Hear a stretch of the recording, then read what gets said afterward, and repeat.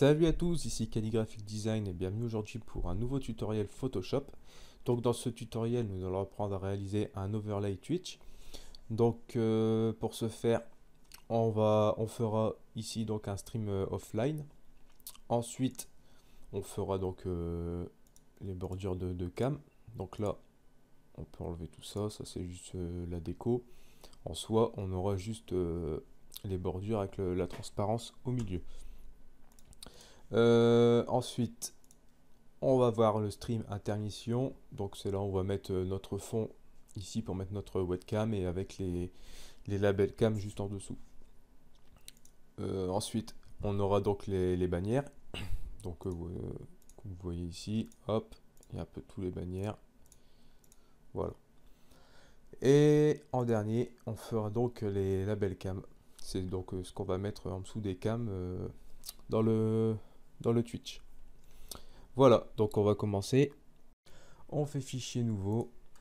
Donc largeur 320 pixels, hauteur 90 pixels, résolution, euh, on peut mettre 300.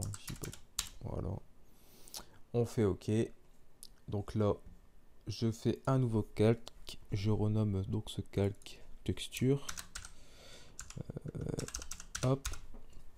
Je fais fichier importer. Donc j'importe texture.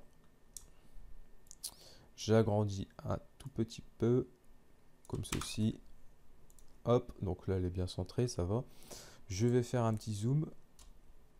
Euh, ensuite, je vais placer donc mes règles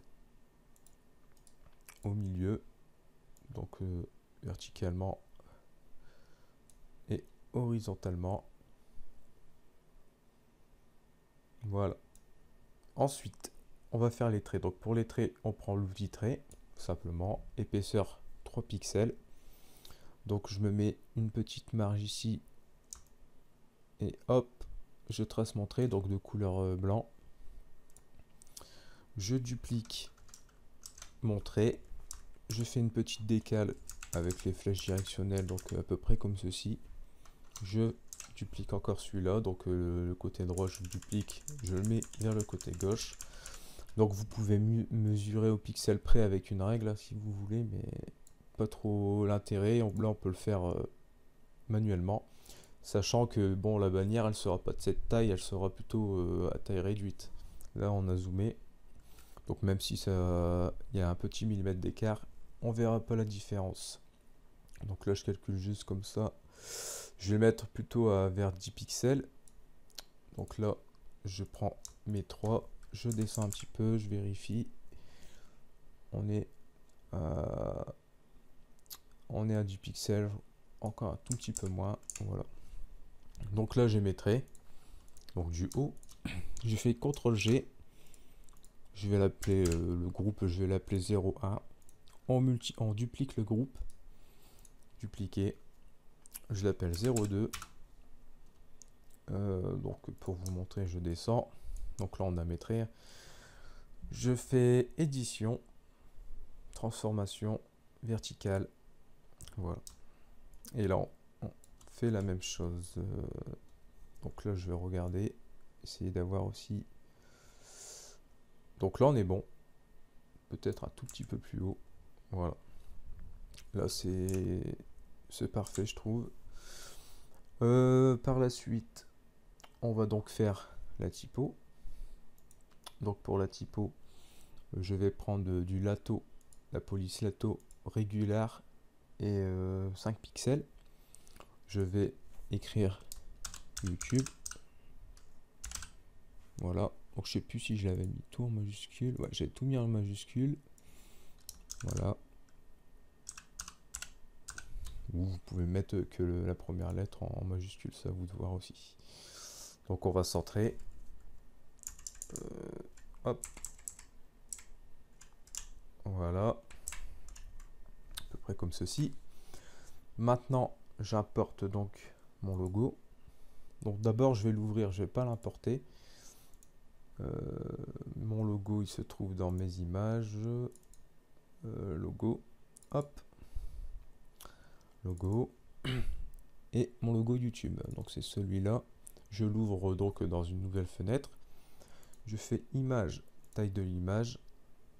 Donc je vais mettre 21 pixels. Ça peut un peu dépendre des images. Certaines images vont être plus hautes et d'autres moins larges.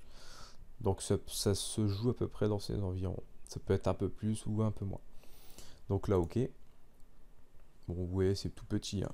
Je fais CTRL, clic gauche sur le logo pour le sélectionner. Donc je vais zoomer un petit peu. Vous voyez, là il est sélectionné. CTRL X pour le couper. Et je vais sur, donc, sur mon, mon calque euh, principal. CTRL V. Voilà. Donc là je le mets un petit peu plus haut. Donc euh, je vais devoir descendre le texte aussi. On va essayer de centrer tout ça. Hop. Voilà.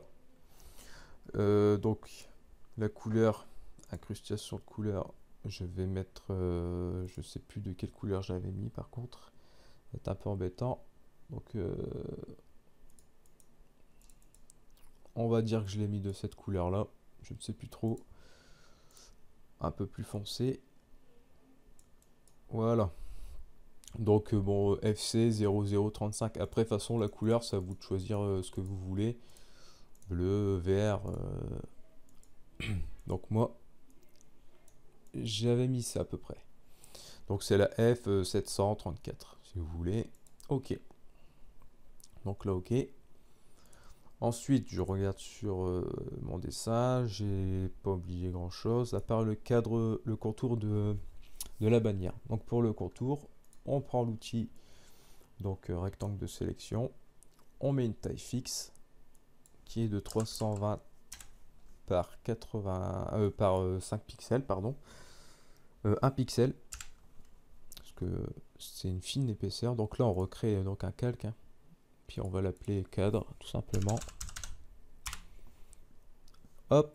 Et là on met notre trait. Donc là notre trait ici il faut bien se mettre au bord.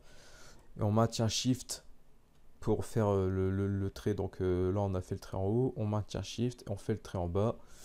Euh, là, pareil, on change la valeur. On va mettre un pixel donc sur les côtés et une hauteur de 90. On maintient toujours Shift, enfoncé, sinon, bah, en fait, ça, va supprimer les autres traits, tout simplement. Voilà. Donc là, le cadre est fait. On prend l'outil pot de peinture couleur blanc.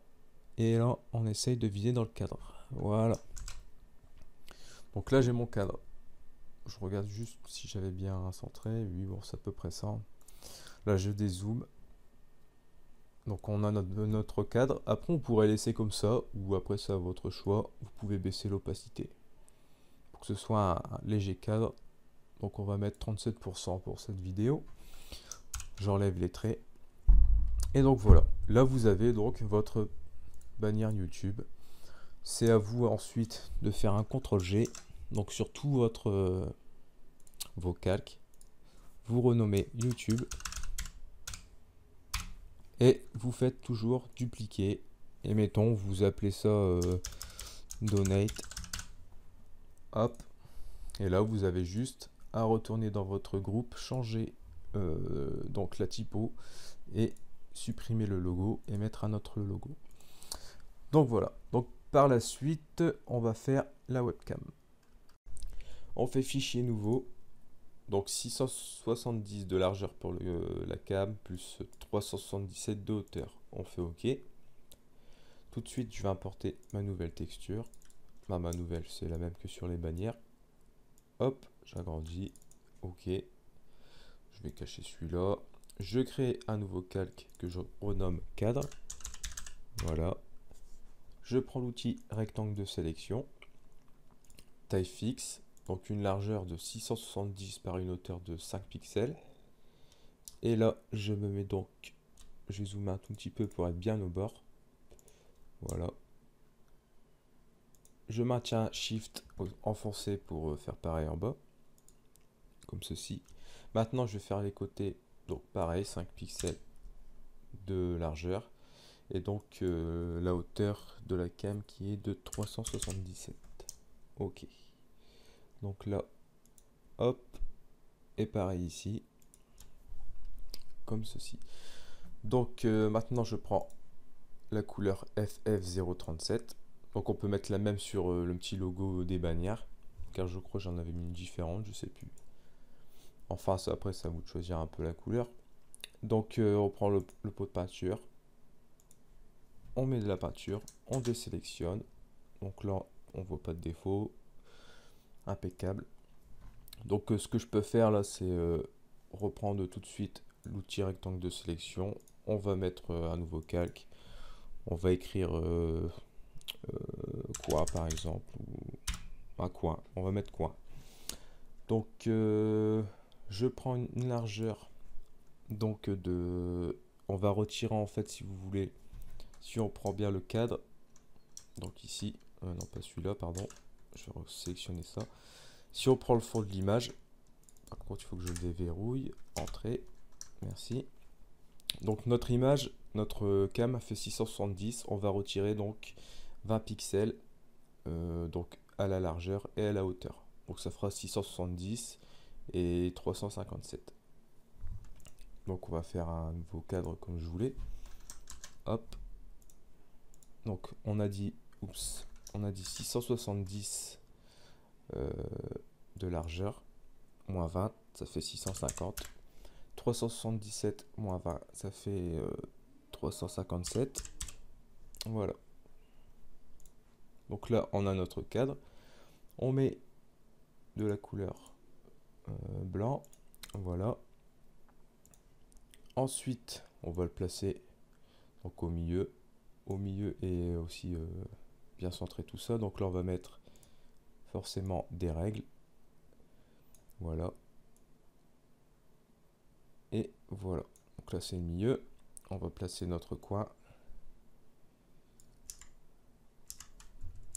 Hop, comme ceci. On désélectionne. Euh, ensuite, je vais peut-être dézoomer un petit peu pour euh, avoir une meilleure vue. Hop. Oups.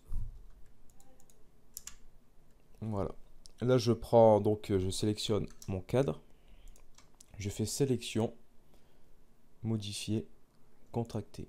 Je vais lui mettre, donc, un contour de 4 pixels. OK. Là, je fais supprimer. Voilà. Donc là, ça me fait mon cadre. Et euh, donc maintenant, comme je vais faire des petits coins comme j'avais fait sur l'image, donc euh, je vais prendre la règle. Par contre, oui, non, c'est bon. Je prends la règle. Je me mets à peu près à 80 pixels donc sur chaque côté. Donc là, 50, 60, 70, 80 pixels. Après, vous pouvez mettre plus ou moins, ça vous décidez. Là, pareil ici, Hop, 80. 80, c'est à peu près ici. Euh, ensuite, je vais faire pareil donc euh, pour les, côtés. Donc ça, je retire euh, la règle là et la règle. Et la règle du milieu. Pour l'instant, on n'en a pas besoin. Et ce sera plus clair pour vous. Donc là, pareil, 80 pixels. donc 50, 60, 70, 80 en haut. Et 80 pixels en partant du bas. Donc vous, vous décomptez hein, au final. Vous faites 377 euh, moins 80 et vous aurez le résultat.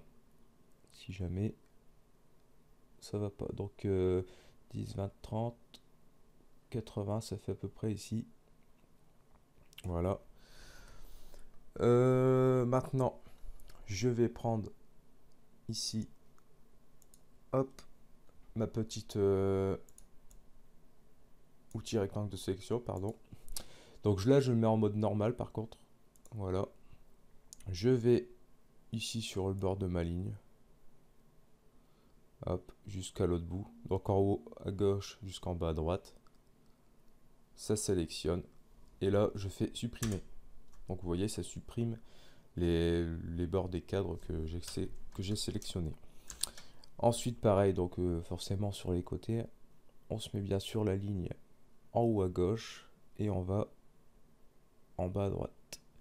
Donc comme ceci. Vous voyez, hop, je supprime. CTRL D. Voilà. Là après maintenant on peut retirer les, règles, j'en ai plus besoin. Enfin je vais faire touche raccourci, voilà. Donc là ça fait nos coins. Après vous pouvez faire, euh, je dis un exemple, hein. avec, avec des outils traits. Donc, mettons, vous faites un trait comme ça, vous, dupliquez, hop, vous tournez pour avoir la même taille avec CTRL T, vous faites entrer et vous le bougez. Donc, je peux zoomer un petit peu, vous le bougez, vous essayez, vous essayez de bien le cadrer, donc à peu près comme ceci. Hop, et vous avez, euh, vous avez un coin si vous voulez. par contre, je suis en train de bouger tout mon système. Voilà. Vous voyez, vous avez un coin, puis là, vous pouvez sélectionner les deux. Faire euh, CTRL G pour faire un petit groupe. Et là, vous bougez donc votre coin. Donc c'est juste un exemple. Hein. Il y a plusieurs façons de le faire. Ça, c'était une que j'ai choisie.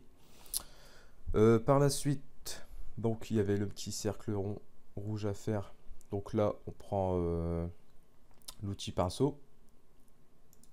Donc euh, vous sélectionnez cette petite brush, épaisseur 94 pixels, voilà. Opacité, vous mettez 64%. on va peut-être réduire un tout petit peu quand même. On va mettre une couleur, donc à peu près dans les mêmes tons. Rouge un peu plus foncé peut-être. Non, un peu plus de rouge. Donc euh, rouge, rouge, hop, on va monter ici. On va réduire un peu la taille. Voilà. Donc vous mettez un petit rouge comme ça, au pire vous cliquez plusieurs fois si c'est pas assez, assez lumineux. Ensuite, vous prenez la petite, euh, la petite euh, outil texte, vous écrivez rec. Par contre, on va mettre bien en blanc. Hop, donc la typo, j'ai pas trop fait gaffe, c'était lato, on peut laisser en lato, vous pouvez mettre euh, en Arial, je pense que ça peut marcher. On va augmenter un petit peu. Après, vous pouvez l'enlever pour... Euh, donc vous pouvez l'enlever si vous voulez. Quand vous êtes sur Twitch, hein. peut-être ça va vous gêner par rapport à ce que vous voulez faire voir. Donc je vais juste regarder. Euh, pardon, c'était pas ça. Ah voilà, c'était bon. Oui, c'est à peu près ça. Pour être sûr. Donc on va un peu plus le centrer et un peu plus donc euh, le centrer, c'est tout. Donc voilà, c'est un peu un peu brouillon, mais euh, c'est un peu dur d'expliquer euh, comment découper tout ça. J'espère que vous avez bien compris. Si jamais vous n'avez pas compris, je pense que je l'avais déjà fait aussi sur, sur une autre vidéo. Et donc là, pour la webcam, c'est fini. Ensuite, bien sûr, je vous explique vous enlevez ça, ça, et vous faites fichier enregistrer sous, et vous mettez dans vos fichiers. Comme ça, euh, vous pourrez donc euh, la mettre sur Twitch. Voilà. Donc par la suite, maintenant, on va faire euh, les labels cam. Donc pour les panels cam, on va faire comme ceci. Donc vous voyez, je vous avais déjà montré au début. On fait fichier nouveau. donc largeur 670 par 50 de hauteur. Hop, ok. On va tout de suite euh, mettre notre texture, donc fichier importer notre texture. Donc la même texture toujours. Voilà. Et voilà. Entrée. Euh, on va faire maintenant notre cadre. Donc là on prend comme d'habitude l'outil rectangle de sélection. En taille fixe, on met largeur 650 670 euh, par 3 pixels de hauteur. Voilà. Donc là, je vais zoomer un petit peu. Je me mets au bord comme d'habitude. Je crée un nouveau calque. Je vais l'appeler cadre. Voilà. Et là, toujours en maintenant Shift, bien au bord, en haut, en bas, et pour les côtés, donc c'est une largeur de 3 pixels avec une hauteur donc de 50 pixels. Et on fait la même chose, toujours en maintenant Shift. Voilà. On prend donc la couleur euh, qui reste la même, FF037. On prend l'outil pot de peinture et on met sur le cadre. On désélectionne. On insère maintenant donc le trait.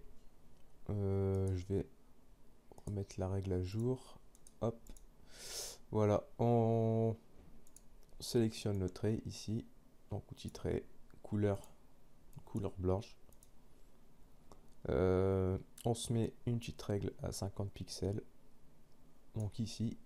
Et là, on se met bien à 50 pixels et on trace notre trait en maintenant Shift. Voilà. Donc là, on a notre trait. Je peux retirer la règle également. Ou bon, je vais la laisser. Ça peut servir. Euh, je vais peut-être la cacher pour le moment. Voilà. Euh, par contre, notre trait, on va le mettre en dessous du calque cadre. Comme ça, on verra pas le trait sur les barres. Ensuite, on va importer notre logo. Fichier. Ah, plutôt, on va l'ouvrir dans une autre euh, dans une autre fenêtre. Car vous, si vous n'avez pas le logo à la bonne taille, faudra faire cette étape. Donc je prends, mettons, je vais prendre la clé de musique, euh, si je la trouve. La clé de musique, euh, elle est là. Voilà. Je fais image, euh, taille de l'image. Je fais donc 26 par 26. Donc vous cochez conserver les proportions. Ok. Je la sélectionne donc, contrôle clic gauche, contrôle X pour couper et je la colle donc euh, CTRL V. Donc là, je la mets au centre du cadre. Donc là, je le fais à la main. Après, vous pouvez calculer. Je peux même un peu dézoomer. Voilà. Je lui change la couleur. Donc, euh, c'est donc ouais, c'est ici. Je vais le renommer logo. Je lui change donc la couleur. Je vais lui mettre donc euh, je sais plus si j'avais laissé blanc peut-être dans l'exemple. Non, j'avais mis la couleur rose. Un rose rouge. Donc là, je mets sa petite couleur. Voilà. Ensuite, donc là, vous voyez pour le logo, c'est fait. Maintenant, il nous reste plus qu'à nous mettre une petite règle à peu près de 20 pixels. Donc même pas, même pas 20. Donc euh, si 20 pixels à peu près à côté donc de notre trait. On prend l'outil euh, texte. Et là, on va écrire euh, no playing. Donc, avec la typo nœud euh, de 7 pixels. Voilà. Impeccable. Donc là, je vais le centrer. Je vais mettre une règle pour centrer, bien sûr, notre texte au milieu. Donc là, c'est le milieu et on va centrer notre texte au milieu. Donc vous pouvez le décaler, après ça vous de choisir aussi hein, comme vous voulez. On peut mettre un peu plus à gauche comme ça. Donc après le trait, euh, il n'y en a pas besoin au final. Et euh, donc c'est bon. Je vais lui mettre juste un petit tiret à la fin de mon texte. Pour dire qu'après le tiret, on met le nom de la musique. Donc ça, ça sera fait sur Twitch, hein, bien sûr. Euh, voilà on peut donc maintenant grouper tout ça. Donc CTRL G. On l'appelle no playing. Comme ceci. Et après, ben, vous faites comme les bannières. Vous dupliquez et vous changez ce qu'il faut donc, euh, donc changer. Le logo et le texte. Pour la suite, on va faire donc euh, le panneau euh, intermission. Donc ici, ce sera le résultat final de l'intermission. Donc maintenant, on fait fichier nouveau 1920 par 1080 300 pixels. Et là on met couleur RVB ok voilà. Donc là tout de suite on apporte euh, donc notre texture. Euh, voilà donc c'est la même que les précédemment dans les bannières et les labels. On met une bannière, une règle pardon, euh, au milieu, donc ici, et une au milieu horizontalement. Voilà. Donc euh, ensuite, on va importer notre webcam. Donc fichier importer la webcam qu'on aura fait donc euh, précédemment. Moi, elle se trouve ici. Je prends donc la webcam transparente je clique ici sur le petit euh, onglet information. Si vous l'avez pas, il faut aller dans fenêtre et cocher donc la case information. Ça va apparaître ici. Donc euh, j'agrandis ma webcam à 1194, donc à peu près, hein, vous pouvez mettre plus ou moins. Hop. Voilà. Je la centre au milieu. D'abord, je vais enlever cette fenêtre. Je peux donc faire entrer et maintenant je vais la centrer. Donc à peu près ici. Voilà. Ensuite, on importe nos labels. Donc je, vais la monter un tout petit peu. Voilà. J'importe mes labels, donc fichier importé. Donc tout ça, c'est ce qu'on aura créé euh, précédemment. Euh, hop, ici, label cam. Et là, je prends tous mes labels. Donc là, je vais en mettre 4. Ce sera les 4 mêmes. Mais d'abord, je vais mettre une petite règle. Donc à peu près à 50 pixels de chaque côté. Et là, ici, voilà. Et je vais donc coller mes labels. Donc là, je duplique. Mais vous, faudra importer euh, donc les autres labels. Là, je vais seulement dupliquer pour le tuto. Donc on en a 4 ou 5. Euh, ça vous de mettre euh, ce que vous avez besoin. Voilà. Donc bien sûr, en vérité, ils seront différents les uns des autres. Donc je retire mes règles. Et voilà ce que ça donne. Donc c'est à peu près ça. Hein. Euh, donc par la suite, une fois qu'on a fait ça, maintenant on va faire donc le, stream offline. Pour le stream offline, donc qui va ressembler à ceci, on fait fichier nouveau, donc 1920 par 1080, euh, hop, ok. On importe notre texture, donc qui est toujours la même que les autres euh, ressources. Voilà, on fait entrer. On va mettre tout de suite une règle au milieu, donc verticalement, oups, et une règle horizontalement, donc au milieu également. Voilà. Donc maintenant, on va faire notre cercle. Donc pour faire notre cercle, on prend l'outil ellipse. Euh, donc on va lui donner, on ouvre l'outil ici, l'outil euh, information. On va lui donner une taille de 399 par 4 par 399 voilà. Donc là je, vais le mettre blanc hop. Je changer sa couleur voilà. Là je le centre au milieu comme ceci je, pixelise le calque je le sélectionne donc contrôle clic gauche sélection modifier contracter on va lui mettre 7 pixels. Voilà. Et on fait supprimer. Donc là, on a notre cercle. CTRL D pour désélectionner. Maintenant, on va importer notre logo. Donc fichier importer. Donc je vais peut-être le renommer cercle. Le petit calque. Hop. Là, maintenant j'importe mon, logo. Donc fichier ouvrir. Je vais l'ouvrir. Donc euh, c'est dans mes images. Euh, logo, hop. Donc c'est celui-ci. Je fais image, taille de l'image. Donc sa taille est de 250 pixels par 250. Ok. Je le sélectionne, je coupe et je colle. Donc CTRL X pour couper, CTRL V pour coller. Pareillement, je le centre au milieu.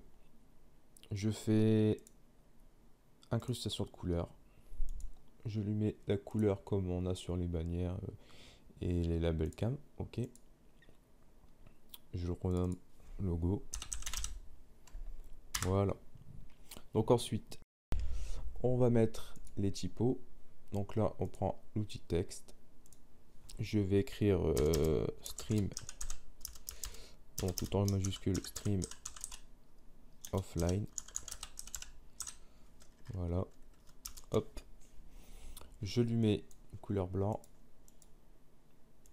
Donc la taille 9,15. La police lato et en régular. Donc maintenant pour déformer le texte, je fais clic droit ici sur, sur la typo et je fais déformer le texte. Là je prends l'outil arc, donc euh, horizontal, inflexion plus 50%, le reste on touche pas. Maintenant, je regarde juste à peu près où c'est placé. Ok. Donc là, je vais le tourner. Hop, je vais essayer de le placer vers ici. Un peu comme ceci. Là, moi, je le fais. Hop, comme ceci, ça m'a l'air correct. Je fais CTRL J pour dupliquer. Et je le mets donc, je le tourne de l'autre côté. Voilà. Et j'essaye de... Donc j'essaye de bien sûr garder une taille à peu près approximative euh, de l'autre côté. quoi. La même chose on va dire. Euh, ça m'a l'air correct. Encore un tout petit peu. Voilà. Je vais le ravancer. Voilà. Donc, euh, pour la suite, pour les traits, on prend donc l'outil trait. Ici, on met une couleur blanche. On se place à peu près sur le cercle. Et là, on trace notre trait. Donc, on fait pas un angle droit. Voilà, comme ceci. Ensuite, on trace un deuxième trait. Donc là, je le fais à main levée, mais bon, vous pouvez le faire droit au pire, et puis après les, tourner, mais c'est mieux comme ça. Donc euh, là, je vais mettre mon trait. Euh, je vais faire un petit espace. Je vais mettre mon deuxième trait. Voilà. Et si jamais vous voulez un plus grand écart, bah, vous avez juste à pousser. Et vous tournez avec les petites flèches directionnelles pour euh, le décaler à droite et à gauche. Donc là, je vais reprendre mon premier trait. CTRL J. Donc c'est juste une petite astuce assez simple. Hein. J'ai pas utilisé de brush pour ça. Donc voilà. Par contre, je vais le coller un tout petit peu plus. Donc euh, celui-là. Euh, non, c'était celui-là. Et celui-là. Les deux là, je vais les coller un tout petit peu plus. Voilà. Et le troisième aussi. Donc vous pouvez faire simplement aussi des traits droits et euh, ce, sera, sera suffisant. Donc maintenant, ce que je peux faire, c'est soit de faire un groupe, ou moi je vais les fusionner. Parce qu'on va dire que je touche plus hein, tout simplement. Euh, donc là je duplique CTRL J. Je sélectionne donc euh, c'est à peu près comme ça. Je sélectionne et je place ici je peux tourner un tout petit peu ou descendre avec les flèches. Hop on va le décaler. Voilà. Le principal c'est que ça rentre pas dans le cercle et que ça reste sur les bordures. Comme c'est du blanc sur du blanc on verra pas la différence. Sinon si vous mettez, mettons, les traits d'une autre couleur, faudra déplacer donc les deux calques en dessous du, cercle. Voilà, comme ça, on sera sûr que les couleurs euh, ne se verront pas sur le cercle. Donc voilà, ça c'était un petit, euh, stream euh, offline. Donc le tuto est fini. J'espère que ça n'a pas été trop compliqué. Et je vous dis à la prochaine. Ciao